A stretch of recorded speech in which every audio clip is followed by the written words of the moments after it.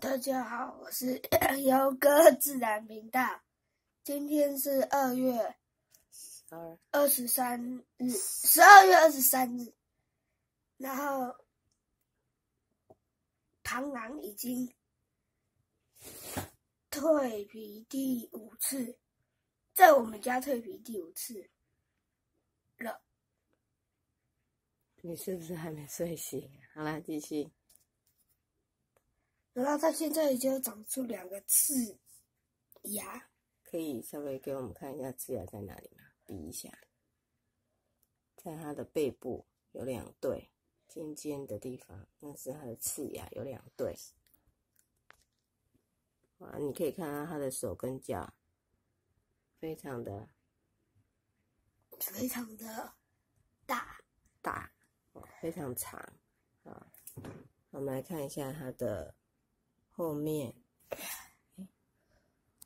有那个，还有吗？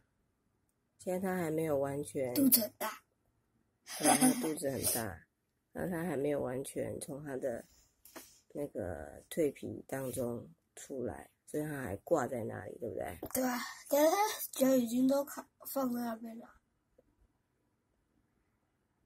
他的脚都已经出来，只剩下最后的什么？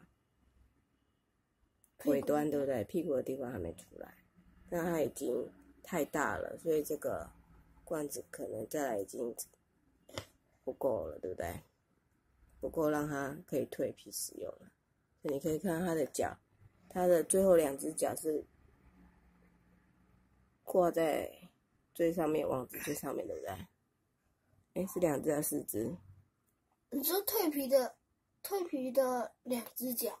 蜕皮的两只脚吗？皮的两只脚挂在树枝上，呃，皮的两只脚挂在网子上，嗯，然后一只挂在树枝上，然后一只悬空，嗯，所以它是整整个用挂着的，倒挂着的，然后再开始蜕皮。早上我们起来的时候就发现它整个挂在这里。我觉得它需要等那个那个那叫什么？那个翅膀干了以后，它才会那个。它还没有翅膀，那个刺牙等于是它以后会长成翅膀的部位。它的刺牙，它现在是一动也不动，对不对？就挂在那里。啊，而且它的身体看起来越来越大了，对不对？等到它完全那个蝉蜕，那个呃，等到它完全蜕皮之后，我们再来量量看它的。尺寸有多长？好，拜拜。